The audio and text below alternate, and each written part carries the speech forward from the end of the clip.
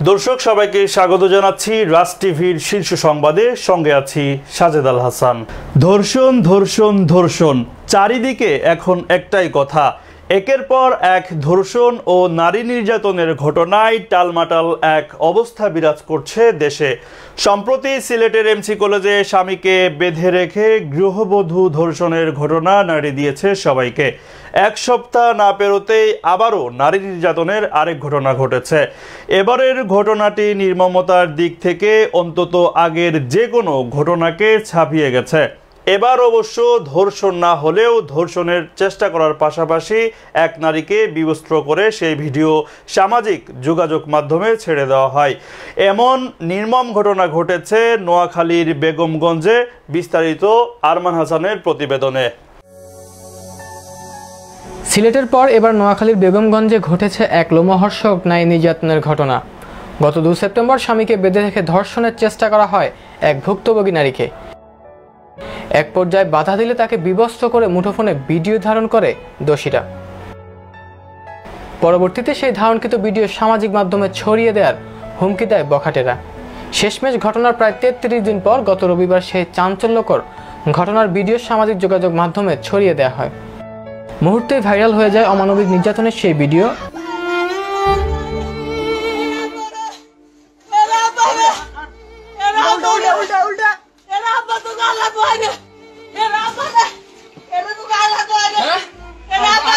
আব্বা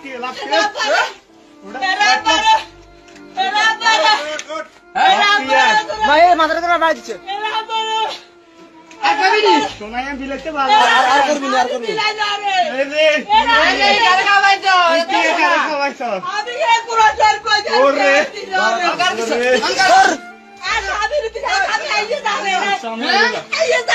স্বামীর মারে উল্টা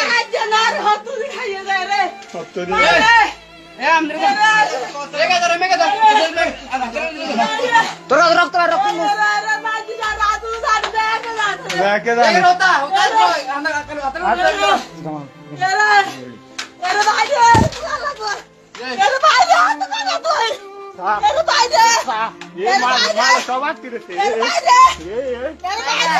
Facebook সত্য রে এ আমরে মেগা ধরে মেগা ধরে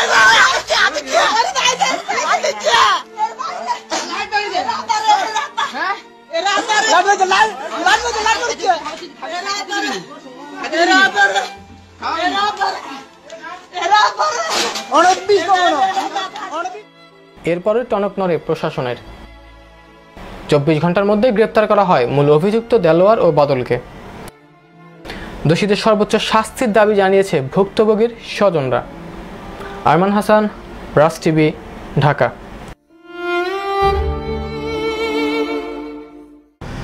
দর্শক, দেখে আসলাম প্রতিবেদন। প্রতিবেদনে দেখা গেছে একজন নারীকে কত নির্মমভাবে নির্যাতন করা হচ্ছে, যেটি এই স্বাধীন দেশে সত্যি অপ্রত্যাশিত। এই ঘটনার সর্বশেষ পরিস্থিতি জানতে এই মুহূর্তে চলে যাচ্ছে আমাদের নিউজ রুমে সেখানে উপস্থিত আছেন আমাদের সহকর্মী আরমান হাসান। আরমান হাসান আপনার কাছে সর্বশেষ কি তথ্য আছে?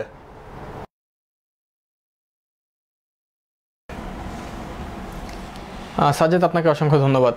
আর যেটি আসলে বলছিলেন আপনি যে আসলে যে নোয়াখালীর বেগমগঞ্জ যে ঘটনাটি ঘটেছে এটি আসলে অনেকটা অপ্রত্যাশিত। আমরা যারা সংবাদকর্মী রয়েছে সারাদিন আসলে আমরা খবর রাখছি আসলে কি হচ্ছে এই ঘটনাটিকে ঘিরে।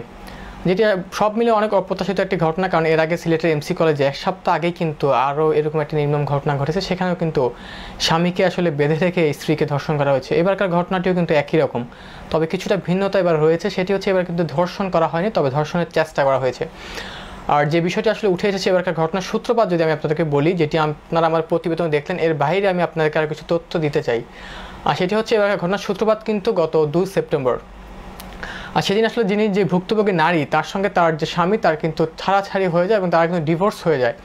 এরপরে কিন্তু গত দু সেপ্টেম্বর সেই স্বামী কিন্তু তার যে প্রাক্তন স্ত্রীর সঙ্গে দেখা করতে আসে এবং সেটি কিন্তু আসলে দেলোয়ার সহ যারা বাদল যারা আসলে দোষী দোষী, তারা কিন্তু জানতে পারে এবং তারা জেনেই কিন্তু তারা আসলে এই সুযোগটিকে তারা কাজে লাগায়। এবং তারা সেখানে কিন্তু তারা যেই মহিলা আসলে তার বাড়িতে তারা চলে আসে এবং তার স্বামীকে কিন্তু তারা অপরিচিত বলে এবং স্বামী অনৈতিক কাজ করতে এসেছে এমন একটি তথ্য তারা আসলে ছড়িয়ে দেয়, যেটি আসলে গুজব একটি উঠে যায় যে এখানে একজন অনৈতিক কাজ করতে এসেছে। আর তারপরে কিন্তু আসলে তাকে তার উপর হামলা করা হয় সে স্বামীর উপর এবং তাকে কিন্তু একটি ঘরে তালাবদ্ধ করে রাখা হয়।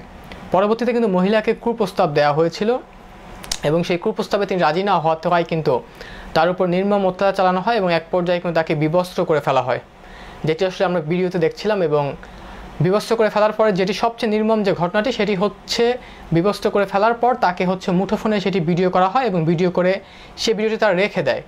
অর্থাৎ যেহেতু দু সেপ্টেম্বর ঘটনাটি ঘটেছে এবং প্রায় এক মাস, তিন দিন পর, অর্থাৎ তেত্রিশ দিন পর কিন্তু এই ঘটনাটির যে মূল রহস্য, সেটি কিন্তু বের হয়েছে। যেটি আসলে অনেকটা আশ্চর্যজনক যে একটি ঘটনা এতদিন আগে ঘটেছে এবং তার রহস্য বা তার মামলা এতদিন পরে হয়েছে, সেটি কিন্তু আসলে সবার মনে একটি প্রশ্ন রয়েছে। তবে সেই প্রশ্নের উত্তরটি আমি আপনাকে জানিয়ে দিচ্ছি। সেটি হচ্ছে, ঘটনাটি যেটি বললাম যে আসলে দু সেপ্টেম্বর ঘটেছে এবং সে যে মামলা মামলা কিন্তু হয়েছে গতকাল। যে মহিলা আসলে তিনি, ভুক্তভোগী মহিলা, তিনি কিন্তু নজনকে আসলে আসামি করে কিন্তু বাদী হয়ে তিনি মামলা করেছেন এবং তার এই মামলার পরিপ্রেক্ষিতেই কিন্তু আসলে যারা আসামি, তাদেরকে কিন্তু গ্রেপ্তার করা হয়েছে। আর যেটি আসলে বলছিলাম যে ভিডিও করার পর কিন্তু তারা আসলে তাকে বারবার কিন্তু ক্রমান্বয়ে তাকে হুমকি দিতে থাকে এবং তার কাছে কিন্তু অর্থ দাবি করে। তবে সেই মহিলা আসলে অর্থ দিতে তার অর্থ দেওয়ার মতো সামর্থ্য তার ছিল না এবং এক পর্যায়ে কিন্তু তিনি সেই বাড়ি ছেড়ে চলে যান। অর্থাৎ নিজের যে বাবার বাড়ি, সেটি ছেড়ে কিন্তু তিনি চলে যান এবং এটি কিন্তু যারা দোষী, তারা কিন্তু জানতে পারে।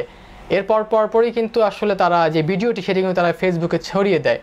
তো এরপরে কিন্তু মুহূর্তের মধ্যে কিন্তু এই ভিডিওটি সোশ্যাল মিডিয়াতে পুরোপুরি ভাইরাল হয়ে যায় এবং তারপরে কিন্তু প্রশাসনের যে টনক, সেটি কিন্তু নড়েছে এবং তারা কিন্তু এই ব্যাপারটি নিয়ে তৎপর হয়ে উঠেছে এবং আমরা যেটি দেখেছি, চব্বিশ ঘণ্টার মধ্যেই কিন্তু আসলে আসামিদেরকে গ্রেপ্তার করা হয়েছে। জি, আরমান হাসান, আপনি যেমনটি বলছিলেন আমরা আপনার প্রতিবেদনে দেখেছি দোষীদেরকে কিন্তু ইতিমধ্যে গ্রেফতার করেছে প্রশাসন। কিন্তু দোষীরা কি আসলে প্রশাসনের কাছে কোনো জবানবন্দি দিয়েছে কিনা, সেই বিষয়ে যদি একটু জানাতেন। সাজেদ ধন্যবাদ। আর যেটি আসলে আমি আপনাকে বলছিলাম যে, যারা আসলে আসামি, তাদেরকে কিন্তু ইতিমধ্যেই গ্রেপ্তার করা হয়েছে। র্যাব এবং পুলিশের সমন্বয়ে আসলে তাদেরকে গতকালকে কিন্তু গ্রেপ্তার করা হয়েছে। আর এদেরকে যারা গ্রেপ্তার করা হয়েছে, তাদেরকে কিন্তু ইতোমধ্যেই যে জবানবন্দি সেটি কিন্তু তাদের নেওয়া হয়েছে এবং আমরা যতটুকু জানি, আগামীকালকে হয়তো তাদেরকে আদালতে তোলা হবে। আর তাদের জবানবন্দি তা জানিয়েছেন যে তারা আসলে যে ভুক্তভোগী যে মহিলা, ওই মহিলাকে কিন্তু তারা আসলে প্রথমে যেটি করেছে সেটি হচ্ছে তারা তাকে কুপ্রস্তাব দিয়েছিল, কিন্তু সেই কুপ্রস্তাবে কিন্তু মহিলা সাড়া দেয়নি। পরবর্তীতে তারা তাকে ধর্ষণের চেষ্টা করে, সেটিতেও কিন্তু মহিলা তাদেরকে বাধা দিয়েছে। এবং এক পর্যায়ে তারা আসলে অনেকটা অসহ্য হয়েই তারা তার বস্ত্র হরণ করে এবং সেই যে বস্ত্র হরণের যে ভিডিও সেটি কিন্তু তারা মুঠোফোনে ধারণ করে এবং সেটি তারা এক পর্যায়ে গতকাল কিন্তু সেটা তারা ফেসবুকে ছেড়ে দেয়। এমনটি আসলে তারা তার জবানবন্দি জানিয়েছে। তবে আর একটা তথ্য রয়েছে, সেটি হচ্ছে এই ঘটনাটি নিয়ে আসলে যে পরিবার অর্থাৎ স্বজনরা, তারা জানিয়েছে যে স্বামী যিনি রয়েছে অর্থাৎ মহিলা যিনি স্বামী, তিনি কিন্তু আসলে এই ঘটনার সাথে কোনোভাবে সংশ্লিষ্ট নন।